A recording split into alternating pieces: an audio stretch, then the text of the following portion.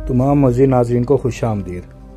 नाजरीन, इस वीडियो में हम ऑस्ट्रिया के तरीक़ी माजी मुतहरिक हाल और उम्मीद अफजा मुस्तबिल के सफ़र का आगाज़ करेंगे। यूरोप के कल में वाक़ ऑस्ट्रिया तवील अरसे से तारीख और सकाफत का एक अहम मुकाम रहा है, जिसने बर अज़म पर एक प्रोमिनेंट निशान छोड़ा है।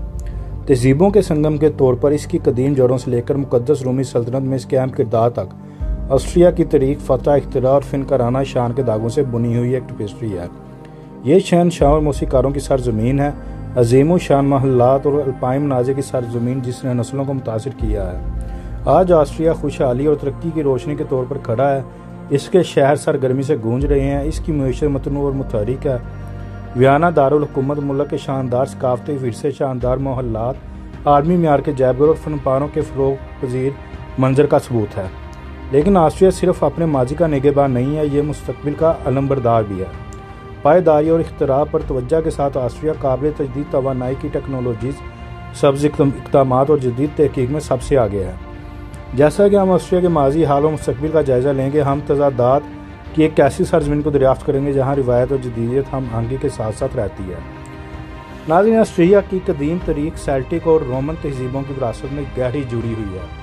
सेलर्स अपनी थकाफत और रिवायात के साथ छोड़कर पहली सदी कबल मसीह के आसपास इस इलाके में बाद हुए।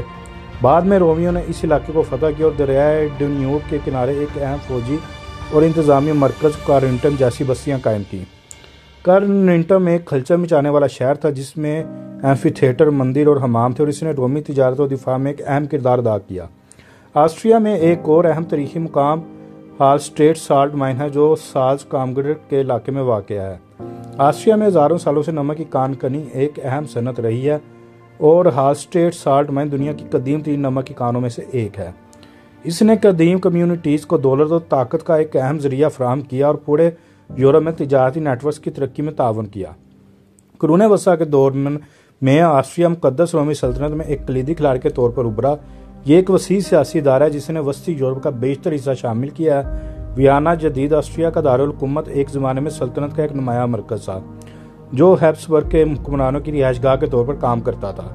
हैप्सबर्ग खानदान ने सदियों से यूरोपीय सियासत और सकाफत की तश्कील में अहम किरदार अदा किया और उनका असर ऑस्ट्रिया की सरहदों से बहुत आगे तक फैला हुआ था। अपनी सियासी अहमद के अलावा ऑस्ट्रिया ने निशात सानिया के दौरान अहम सकाफती शराखतें की वियाना फनकाराना और फिक्री सरगर्मियों का एक मुतहरिक मरकज बन गया। जिसने पूरे यूरोप से स्कॉलर्स, फनकारों और मौसीकारों को अपनी तरफ़ मुतवजा किया। हैब्सबर्ग फ़नून लतीफ़ा के अजीम सरप्रस्त थे। शानदार महल्लात, गिरजाघरों और फनपारों की तमीर करते थे, जो आज भी ऑस्ट्रिया के सकाफती विरसे के सबूत के तौर पर खड़े हैं। ऑस्ट्रिया की कदीम तरीक सेल्टिक और रोमन असरात की एक टपिस्ट्री है, जो मुकदस रोमी सल्तनत में इसके बाद के किरदार और निशात सानिया के दौरान इसके सकाफती फूलों के साथ जुड़ी हुई है।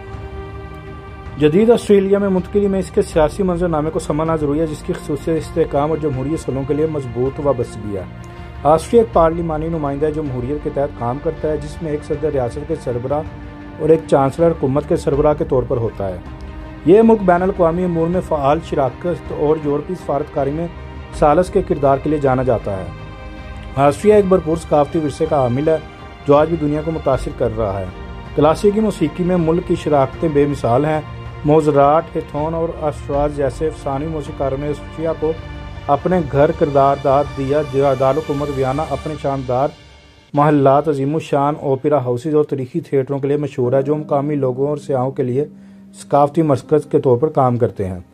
मीशत का रुख करते हुए आस्ट्रिया में मतनू और मज़बूत मुआशी मंजरनामा है। सियाहत एक अहम किरदार अदा करती है। हर साल लाखों ज़ायरीन ऑस्ट्रिया के शानदार कुदरती मनाजिर तरीकी शहर और सकाफती पुरकशी मकाम की तरफ़ रागिब होते हैं। मजीद बर ऑस्ट्रिया टेक्नोलॉजी अख्तरा में एक रहनुमा है जिसमें बायोटेक्नोलॉजी काबिल तजदीद तोानाई और इंफॉर्मेशन टेक्नोलॉजी जैसे शोबों में तहकीक और तरक्की पर भरपूर तवज्जो दी जाती है। मैनुफैक्चरिंग इंडस्ट्री भी परवान चढ़ती है। ऑस्ट्रिया ऑटोमोटिव मशीनरी और इंजीनियरिंग जैसे शोबों में अपनी आला मैार की मसनूआत के लिए जाना जाता है। ऑस्ट्रिया पायदारी और माहौलियाती तहफ़ पर बहुत ज़्यादा ज़ोर देता है।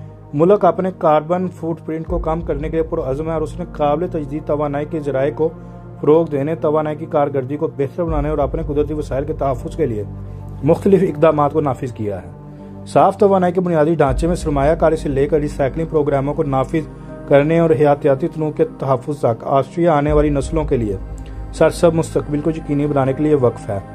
जदीद आस्ट्रिया रिवायत और जिद्दत का एक मुतहरिक इम्तजाज है, जहाँ भरपूर सकाफती विरसा जदीद टेक्नोलॉजी और पायदार तरीकों से मिलता है। ऑस्ट्रिया के मुस्तकबिल पर नज़र डालते हुए पायदार तरक्की और इख्तरा पर तोज्जा दी जा रही है।